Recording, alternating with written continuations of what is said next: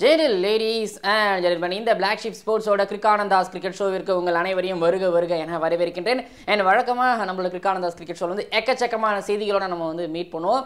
And இப்போ ஒரு நான்கைந்து நாட்களாக செய்திகளோட மீட் பண்ணுறேன் அப்படிங்கிறதுனால நல்லதோ கெட்டதோ சென்னை சூப்பர் கிங்ஸோட செய்திகள் மட்டும் தான் நம்ம அதிகமாக பார்த்துக்கிட்டு இருக்கிறோம். ஸோ அவங்கள ஃபுல் டாமினன்ஸ் இருந்துக்கிட்டு இருக்குது அதாவது ஒரு நான்கைந்து நாட்களுக்கு முன்னாடி பார்த்தீங்கன்னா சென்னை சூப்பர் கிங்ஸ் பற்றிய செய்திகள் நம்ம பெருசாக பார்த்துருக்க மாட்டோம். ஆனால் அடுத்த ஒரு நாலு நாள் பார்த்தீங்கன்னா அவ்வளோ செய்திகள் அவங்க சைட்லேருந்து வந்துகிட்டு இருக்குது. அதான் என்ன சொன்ன மாதிரி நல்லதோ கெட்டதோ.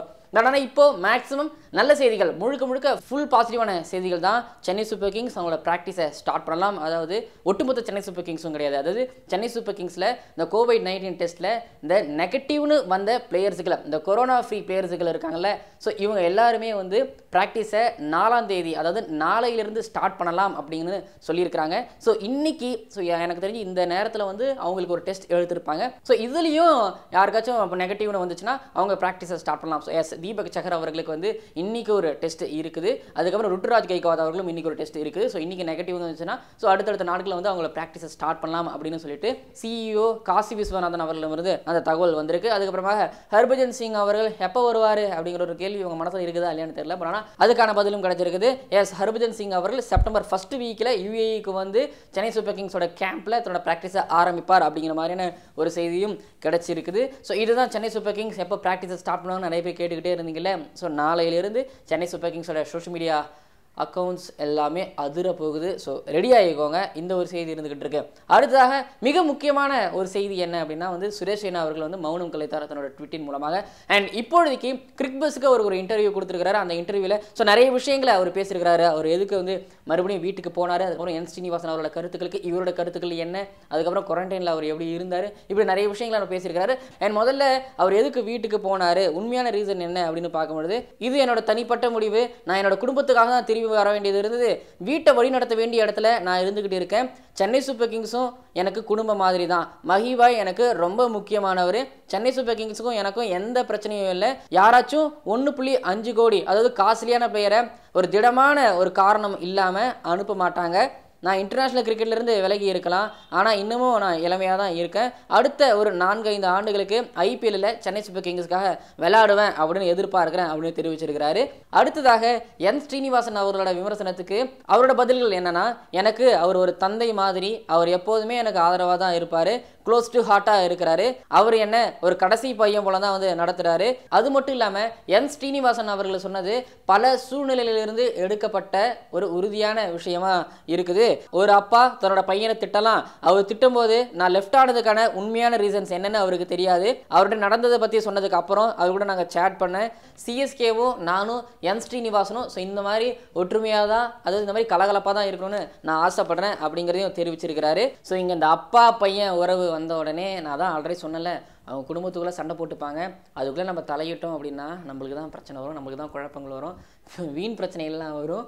ஸோ கடந்த ஒரு நான்கைந்து நாட்களாகவே இதை நீங்கள் ஃபேஸ் பண்ணி இருந்திருப்பீங்க சுரேஷ் எனக்கு சப்போர்ட் பண்ணி நீங்கள் பேசினாலும் சரி இல்லை என் ஸ்ரீனிவாசன் அவர்களை சப்போர்ட் பண்ணி நீங்கள் பேசினாலும் சரி இல்லை எதிராக நீங்கள் பேசினாலும் சரி உங்கள் நண்பர்களுக்கு இடையிலையாச்சும் உங்களுக்குள்ள சண்டை வந்துடும் கண்டிப்பாக ஸோ அதுதான். இந்த குடும்பத்து பிரச்சனைகளை தயவுசெய்து தலையிட்டவே கூடாது. இது வந்து உங்களுக்கு எல்லாருக்கும் மிகப்பெரிய ஒரு பாடம். அதுக்கப்புறமா இந்த பயோபபிள் சேலஞ்ச் எப்படி இருந்துச்சு எப்படி அட்ஜஸ்ட் பண்ணிக்கிட்டு இருந்தார் அப்படிங்கிறதெல்லாம் பற்றி அவர் பேசும்பொழுது அதுக்கப்புறமாக அதாவது இந்த நம்மளுக்கு வசதி இல்லை இப்படிங்கிற ஒரு செய்தியெல்லாம் கேள்விப்பட்ட உடனே ஸோ அதை பற்றி அதுக்கான ஒரு பதிலும் வந்து அவர் சொல்லியிருக்காரு ஸோ டீம் மேனேஜ்மெண்ட்டும் பிசிசியும் வந்து கண்டிப்பாக இந்த இடத்துல நான் பாராட்டியே ஆகணும். ஏன்னா இதுக்கு முன்னாடி நாங்கள் யாரும் அப்படி இருந்தது இல்லை எல்லாருக்குமே இது ரொம்ப புதுசாக இருந்தது. ஸோ ரெண்டு நாளைக்கு ஒரு டெஸ்ட் எங்கள் எல்லாருக்குமே எடுத்துக்கிட்டு இருந்தாங்க. அதுக்கப்புறமா வந்து எனக்கு வசதியாக இல்லை அப்படிங்கிற ஒரு நியூஸுமே வந்து கேள்விப்பட முடிஞ்சது. ஆமாம் எனக்கு வந்து ஒரு சின்ன குடும்பம் இருக்குது எனக்கு ஏதாவது நடந்துச்சுன்னா அவங்களுக்கு என்ன ஆகுமோன்னு சொல்லிட்டு நான் கொஞ்சம் கவலைப்பட்டேன். என் குடும்பம் எனக்கு ரொம்ப முக்கியமானது. இந்த நேரத்தில் நான் ரொம்பவும் அக்கறையோடு இருந்தேன். நான் யூஏஇலேருந்து வந்தும் கூட நான் இன்னமும் ஐசோலேஷன் தான் இருந்துகிட்டு இருக்கேன். இருபது நாள் ஆச்சு நான் என்னோட குழந்தைகளை நான் பார்க்கவே இல்லை. அதே போல் அவங்க மாமா இறந்ததை பற்றியும் அவர் குறிப்பிடும் பொழுது இது ரொம்ப துரதிருஷ்டவசமானது அப்படிங்கிற மாதிரி அவரோட கருத்துக்களை வந்து ரொம்ப சோகமாக அவர் தெரிவிச்சிருக்கிறாரு. ஸோ ஓவரால் ஓவரால் எல்லா பிரச்சனையும் இப்பொழுதைக்கு முடிவுக்கு வந்திருக்குது. ஸோ நாலு நாளாக வந்து சுரேஷ் என்ன சென்னை சு சென்னை சூப்பர் கிங்ஸ் மேனேஜ்மெண்ட் அதுக்கப்புறம் என் ஸ்ரீனிவாசன் அவர்கள் சொல்லிட்டு ஸோ பேசிகிட்டு இருக்கும்போது அது கொஞ்சம் ஒரு மாதிரி என்னடா ஒரு நாலு நாளாக ஒரே விஷயத்தையே பேசிட்டு இருக்கிறோமே அப்படிங்கிற ஒரு கியூரியாசிட்டி என் மனசுக்குள்ள இருந்துகிட்டு அதை தாண்டி இந்த பிரச்சனை பிரச்சனையும் வந்து இந்த பிரச்சனையா? ஐயோ இதுவா? அப்படின்னு ஒரு தாட் இருந்துகிட்டு இருந்தது. ஸோ இப்போ அந்த பிரச்சனைலாம் முடிவுக்கு வந்துடுச்சு. ஸோ சுரேஷ் ரெய்னா அவர்கள் வந்து ஆட வருவார் அப்படிங்கிறது வந்து கிளியராகவே தெரிஞ்சிருக்கு. ஸோ ஐ திங்க் இந்த சீசன் வரல அப்படின்னாலுமே அடுத்தடுத்த சீசனில் ஆடவும் வருவார். மேபி இந்த சீசனில் வந்து அவர் வந்து கொஞ்சம் ப்ரொஃபஷனல் வேறு பர்சனல் வேறு நினச்சி அவர் வந்து ஆட வந்தாருன்னா ஸோ ஃபஸ்ட்டு மிட்டு சீசனுக்கு முன்னாடி வந்து அந்த வந்தாருன்னா ஸோ செல்ஃப் குவாரண்டைன் பண்ணிவிட்டு அதுக்கப்புறமாக டெஸ்ட்லாம் முடிச்சுட்டு வந்து ஆடலாம். ஸோ மிட்டுக்கு அப்புறம் வந்து ஆடனா ஆடலாம். ஸோ இது எந்த அளவுக்கு ஒரு பாசிபிலிட்டிஸ் இருக்குன்னு தெரியல. இன்னொன்று வந்து அவர் சொல்ல பொழுது ஒரு விஷயம் மட்டும் கிளியராக தெரியுது. ஸோ அந்த ஃப்ரஸ்ட்ரேஷன் கண்டிப்பாங்க ஒரு எல்லாருக்கும் இது ரொம்ப புதுசு. ஒரு ஆறு நாள் உங்களை போட்டு அடைச்சி வச்சாலுமே வந்து அது ரொம்ப கஷ்டம். ஸோ எல்லாருமே கோவிட் நைன்டீன் காலத்தில் வீட்டுக்குள்ளே வந்து என்னப்பா இருந்தீங்க? அப்படின்னு சொல்லும் பொழுது ஓகே தான். ஆனால் எல்லாருமே ப்ராப்பராக வீட்டில் இருந்தாங்களா அப்படிங்கிறது ஒரு கேள்வி. பக்கத்தில் போய் தோட்டத்துக்கு போய் விளாட்றது அதுக்கப்புறம் வந்து பக்கத்தில் எங்கேயாச்சும் தெருவில் நடந்து போகிறது ஸோ இந்த மாதிரி அவங்க தங்களை வந்து மைண்ட் ரிலாக்ஸ் பண்ணிக்கிறதுக்கு நிறைய விஷயங்கள் பண்ணுவாங்க. ஸோ ஒரே ரூமில் உட்காந்துக்கிட்டு நெட்ஃப்ளிக்ஸ் பார்க்குறதோ இல்லைனா வந்து அமேசான் ப்ரைமில் வந்து பார்க்குறதோ சின்ன சின்ன இடத்துல வந்து ஸ்கிப் பண்ணிக்கிட்டோம். ஸோ அதே ரொட்டீனாக ஒரு ஆறு நாள் இருந்ததுன்னா அது ரொம்ப ஃப்ரஸ்ட்ரேட் ஆகிரும். இங்கே பேரரசுகளோட அந்த மென்டல் ஸ்ட்ரென்த் பற்றி பேச வேண்டிய ஒரு இடத்துலையும் நான் இருக்கிறேன். அதனால தான் இங்கே வந்து திரும்பிச்சேன் சுரேஷன் அவர்கள் வந்து கண்டிப்பாக ப்ரெஷர் இருக்குங்க. நம்ம இங்கே இருந்துக்கிட்டு இருக்கிறோம். ஸோ நம்மளுக்கு வேலையாக குடும்பமாக பார்க்கும்பொழுது எல்லாருமே இந்த இடத்துல தடுமாறுவாங்க ரெய்னா அவர்களும் தடுமாறிடுறாருன்னு நான் நினைக்கிறேன். ஆனால் அதுக்கடையில் எம் ஸ்ரீனிவாசன் அவரோட அந்த இன்டர்வியூ பற்றியும் இப்போ அவர் சொல்லிட்டாரு. அவருக்கு என்னோட பிரச்சனைகள்லாம் தெரியாமல் சொல்லிட்டாருன்னு சொல்லிட்டு. ஸோ இப்போ ஏற்கனவே எல்லா விஷயமும் முடிவுக்கு வந்துடுச்சு. இதை பற்றி எனக்கு ஒரு ஜவ்வு மாதிரி நம்ம இழுக்கவும் தேவையில்லை. ஸோ யாராக இருந்தாலும் சரி பிளேயர்ஸும் மனுஷங்கள் தான் ஸோ அவங்களுக்கு இந்த மாதிரி நிலைமைகள்லாம் வரும்.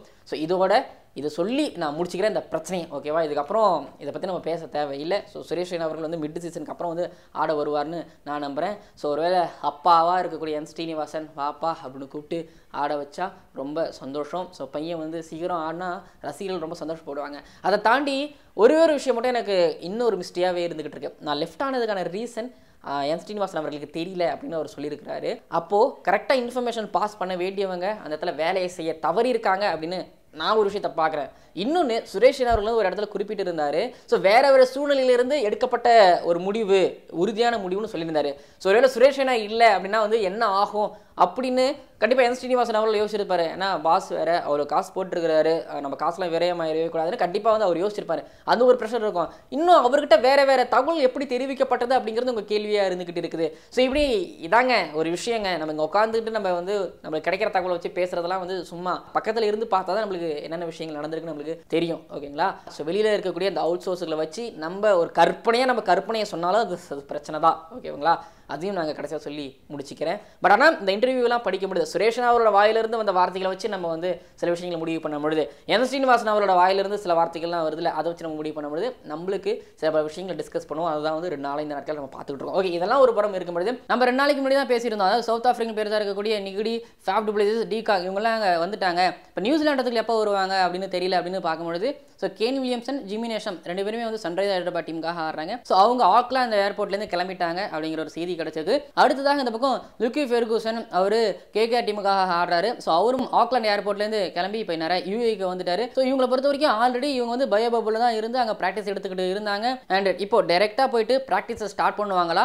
இல்லைனா வந்து இவங்க ஒரு ஆறு நாள் ஐசோலேஷனில் இருப்பாங்களா? அப்படிங்கிறது ஒரு கேள்வி. ஸோ வழக்கமாக அந்த ஆறு நாள் ஐசோலேஷனில் வந்து ஒரு மூணு டெஸ்ட் எடுப்பாங்க. மூணுத்துல நெகட்டிவ் வந்தால் மட்டும்தான் வந்து அடுத்து இவங்களால ப்ராக்டிஸை ஸ்டார்ட் பண்ண முடியும். பட் என்னை பொறுத்த வரைக்கும் நம்ம ஒரு ஷோவில் சொல்லியிருந்தோம். இப்போ இங்கிலாந்து ஆஸ்திரேலியன் பிளேயர்ஸுகளோ இல்லை கரீபியன் பிரீமியர் லீக் ஆட வரக்கூடிய இந்த வெளிநாட்டு பிளேயர்ஸ்களோ வந்து இவங்க டேரெக்டாக ஆடலாம். ஏன்னா இவங்க வந்து அங்கே பயோ பபிளில் தான் இருந்தாங்க. இங்கே ஆல்ரெடி அவங்க வந்து ஒரு ஆறு நாள் வந்து செல்ஃப் ஐசோலேஷனில் இருந்தாங்க அப்படின்னா வந்து ஸோ ஐபிஎல்லுக்கு கொஞ்சம் பாதிப்பு இருக்கும் அப்படிங்கிறதுனால ஸோ இவங்களை டேரெக்டாக ஆட வைப்பாங்க அப்படிங்கிற மாதிரி வந்து எதிர்பார்க்கப்படுது. ஸோ இதுக்காக நம்ம ரொம்ப நாளாக வெயிட் பண்ண தேவையில்லை. ஒரு ரெண்டு நாளில் தெரிஞ்சிடும் இப்போ கேன் வில்லியம்சன் விஷம் அதுக்கப்புறம் வந்து லுக்கி ஃபெர்கசன் இவங்களாம் வந்து ப்ராக்டிஸை ஸ்டார்ட் பண்ண முடியுது. அண்ட் எனிவேஸ் கேன் வில்லியம்சன் வந்துட்டாரு. ஸோ இன்னும் சில பல நியூசிலாண்டர்கள் இருக்காங்க. கரீபியன் பிரீமியர் லீக்ல ஆடுறவங்க இருக்காங்க. இன்னும் தனிப்பட்ட வகையில் சில பல பிளேயர்ஸ்லாம் இருக்காங்க. ஸோ அவங்கலாம் கூடிய விரைவில் வருவாங்க அப்படிங்கிற மாதிரி வந்து எதிர்பார்க்கப்படுது. பார்க்கலாம் எப்போ இவங்க ப்ராக்டிஸ் ஸ்டார்ட் பண்ணுறாங்கன்னு சொல்லிட்டு. அடுத்ததாக ரெண்டு செய்தி இருக்குது. ஒன்று வந்து லசித் மலிங்கா அவர்கள் இந்த சீசன் ஃபுல்லாக ஆட மாட்டார். அவருக்கு பதிலாக ஜேம்ஸ் பேட்டின்சனை எடுத்திருக்கிறாங்க. பட் வழக்கமாக சொன்னதாங்க அவங்களுக்கு வந்து கண்டிப்பாக மலிங்கா இல்லாதது ஒரு பிரச்சனை. பட் ஆனால் சமாளிக்கிறதுக்கு நிறைய பவுலர்கள் இருந்துகிட்டு இருக்காங்க. பட் மலிங்கா மாதிரியான ஒரு பவுலர் இருந்தால் மும்பை இந்தியன்ஸ் எந்த மாதிரியான இடங்கள்லாம் தப்பிச்சிருக்காங்க அப்படிங்கிறத நீங்கள் பார்த்துருப்பீங்க ஒரு ஒரு சீசன் வந்து கோச்சாக இருந்தார் ஸோ அப்பயுமே உறுதுணையாக மும்பை இந்தியன்ஸுக்காக இருந்தார். பட் இப்போ வந்து அவர் இல்லாமல் பேட்டின்சன் ஆடுறாங்க. ஸோ மும்பை இந்தியன்ஸோட ஸ்குவாடை பற்றி பேசும்போது பேட்டின்ஸ் அவர்கள் எந்த அளவுக்கு ஹெல்ப்ஃபுல்லாக இருப்பார் அப்படிங்கிறதையும் நம்ம பார்த்துருவோம். அது மட்டும் கிடையாது பெரியசாமி அவர்கள் யூஏக்கு போயிருக்கிறாரு. ஆமாம் டிஎன்பிஎல்ல நீங்கள் சேப்பாக் சூப்பர் கில்லீஸ்க்காக பார்த்த அதே பெரியசாமி தான் இப்போதைக்கு யூஏக்கு கேகேஆரோட நெட் பவுலராக போயிருக்கிறாரு. ஐபிஎல்ல ஆக்ஷனில் அவர் நேம் பார்த்தனே அவர் எடுப்பாங்கன்னு அப்படியே சந்தோஷப்பட்டேன். ஆனால் அவர் எடுக்கல. எஸ் கண்டிப்பாக அவருக்கு போதுமான ப்ராக்டிஸ்கள் தேவை. இன்னும் அவர் வந்து மேலே போகணும். அதுக்கு இப்போ நெட் பவுலராக போயிருக்கிறாரு. நிறைய ஷைன் பண்ணுவார் நம்புறேன். அது மட்டும் கிடையாது தமிழ்நாட்டிலேருந்து அஜித் ராமும் கேகேஆர் டீமுக்காக நெட் பவுலராக போயிருக்கிறார் அப்படிங்கிற தகவல் வந்து கிடைச்சிருக்குது. ஸோ ரெண்டு பேருமே தங்களை ஷைன் பண்ணிக்கிட்டு இங்கே வரணும் அப்படின்னு தான் வந்து நான் எதிர்பார்க்குறேன்.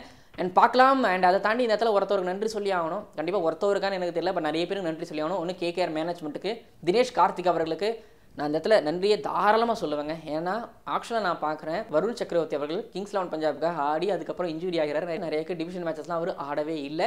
ஆனால் அவர் மேலே இருக்கிற ஒரு நம்பிக்கையை வச்சு கேகேஆர் டீமுக்கு கூப்பிட்டு போகிறார் அடுத்ததாக சித்தார்த் மணிமாறன் சின்ன பையன் சைது முஸ்தாகி ட்ரோஃபியில் தன்னோட கேப்டன்சி கீழே ஆனார். நல்லா பவுலிங் பண்ணிட்டு இருக்கான் ஸோ அவரை நான் எடுக்கணும். எடுத்தாப்புல பிளேயரோட பொட்டன்ஷியல் அவர் மதிக்கிறாரு. ஸோ இப்படி ஒவ்வொருத்தருக்கும் தினேஷ் கார்த்திக் சான்ஸ் கொடுத்துக்கிட்டு இருக்கிறாரு. ஸோ இந்த வகையில் மறுபடியும் தினேஷ் கார்த்திக் அவர்கள் ரொம்ப இம்ப்ரெஸ் பண்ணுறாரு இந்த இடத்துல தினேஷ் கார்த்திக் அவர்களுக்கு மிகப்பெரிய நன்றி. நான் தெரிவிச்சுக்கிறேன். தனிப்பட்ட வகையில் நான் தெரிவிச்சுக்கிறேன். அண்ட் அடுத்ததாக தினேஷ் கார்த்திக் இன்னும் சென்னை சூப்பர் கிங்ஸுக்கு ஆடலை. அப்படி ஆனாரா தமிழக வீரர்களுக்கு வாய்ப்புகள் கூட கிடைக்கலாம். ஸோ பரவாயில்லைங்க. இப்படி தாங்க இருக்கணும். ஒருத்தவங்க ஒருத்தவங்க ஒருத்தவங்க ஹெல்ப் பண்ணிக்கணும். ஸோ அதுவும் தமிழ்நாட்டுக்கார தமிழ்நாட்டுக்காரன் மட்டும் கிடையாது. ஒருத்தவங்க வர ஹெல்ப் பண்ணிக்கணும். ஆனால் இந்த கீழே ரூரல் ஏரியாலேருந்து ஒருத்தன் வரா பாருங்க அவனுக்கு ஹெல்ப் பண்ணுறது ரொம்ப சந்தோஷமான விஷயம்.